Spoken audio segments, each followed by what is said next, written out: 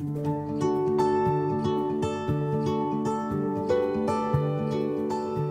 everyone, Chris and Jim back here with another update. We've been getting a lot of questions about stabilization versus rental vacancy. And this is a really important thing when you're figuring out your performance and your overall property investment.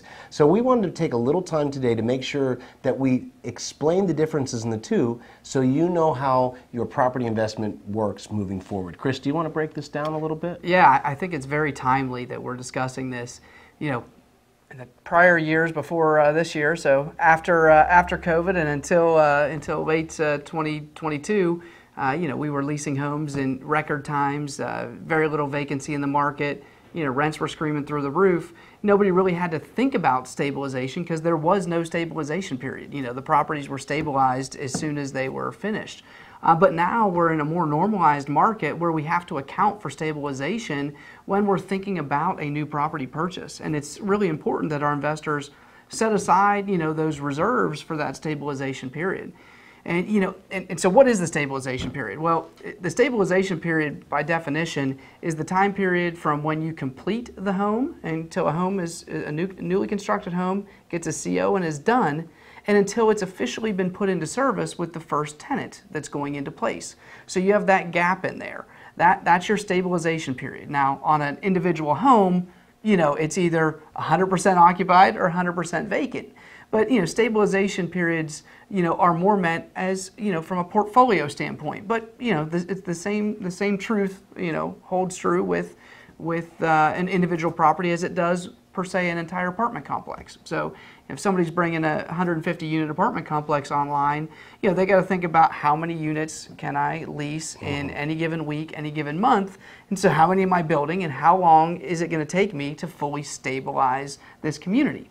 So when, when they do that, they say, well, hey, it's, you know, I'm going to I'm going to lease, uh, you know, 15 units a week, and uh, it's 150 units, so 10 weeks, and I'm going to I'm to be fully leased up. So I have a 10 week stabilization period, right? All right, well, same holds true for, for what we're doing here, even though we're doing it on individual homes or duplexes or quadruplexes for, for our customers.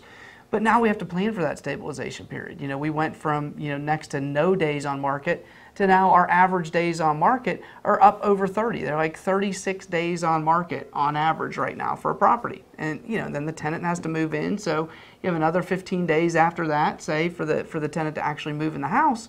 Now you've got to account for that. So, you know, now we're almost pushing 60 days from closing until on average a tenant is in the home.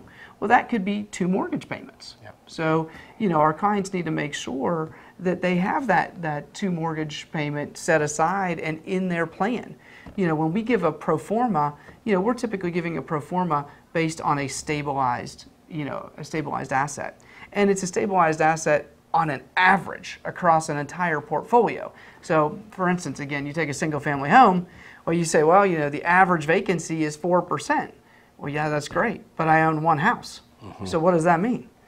That means you're either going to be 100% occupied or 0%, Zero. occupied. So there will never be a 4% uh, vacancy. So, okay, well, why do you put a 4% vacancy in my pro forma is the question. Because it's, it's really based on the average of a portfolio. So let's say you have a property that gets leased up and then the tenant stays in it for four years. Well, you accounted for that 4% vacancy in year one, in year two, in year three, in year four. And again, that's 4% vacancy per year after stabilization. So now you've banked 16%. percent mm hmm So now all of a sudden, you know, you do have a move out and that tenant moves out. Well, now you've banked up that 4%. You know, technically you've saved it. Now, whether you've, you know, gone out and spent it or not, you know, you've technically set that aside in your pro forma to be able to pay for that expense at a future date. Now, some of some of our very, very, say, uh, very, very prudent uh, clients that are very, very diligent about, uh, about their uh, pro formas will actually set that money aside. Yep. So they'll take that 4% that they didn't spend and they'll put it in a savings account. And the next year they'll do the same thing. Same if they didn't spend any maintenance dollars. And all of that goes over here because it's going to be saved up for when it actually does get used. Yes. So, you know, so that, you know, that really is the difference, you know, when we talk about stabilization versus vacancy and how you account for those things when you're buying an individual property versus a whole portfolio. Now, again, you know, you'll hear Jim say it, you know, numerous times.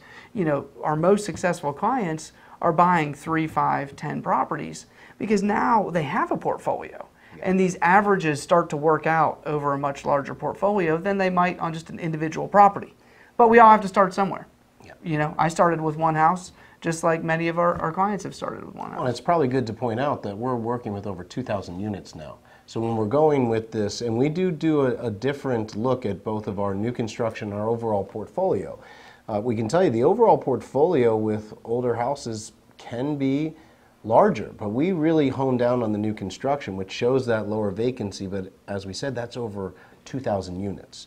So you have to go with the averages, and averages are important here because you say, well, now that this is done, can a property never rent in 12 days? Well, no. It, the average is 36 days. So that means there's people that are renting earlier than that. There's people that are renting longer than that. And what we always talk about the initial investment up front. When, when, when an institution group or a professional investor looks at stabilization, they're saying, what is the capital going in right now to get this to the point where it's going to start performing for me. And that's an important distinction, like Chris is saying, and something that you guys want to continually go over and look for the long term. As you know, our principles, number one principle for us, for us personally, and now for our build to rent system, invest for the long term. And when you're investing for the long term and you look to the long term, we really have to ask the question man, 12 days is great.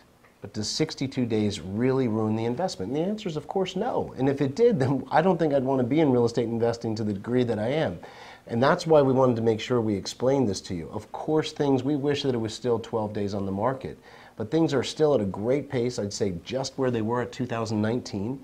And we want to make sure that you feel confident in what you're doing. And when you start to understand from the professional investor mindset of what stabilization looks like and what rental vacancy, I think you're going to have more of a confidence, more of a knowledge, and more of a um, just overall comfort for the overall investment. Is there anything you want to add to that? No, I think that's it. Well, we appreciate you guys listening today. Any questions on this, make sure you talk to the marketing and leasing directors that you're working with because they can help explain this. They have a good knowledge of this as well. Uh, and also your sales counselors. They understand this well. A lot of them are investors themselves. So this is a really important subject that you want to understand whether you're starting out or maybe you own 10 properties already.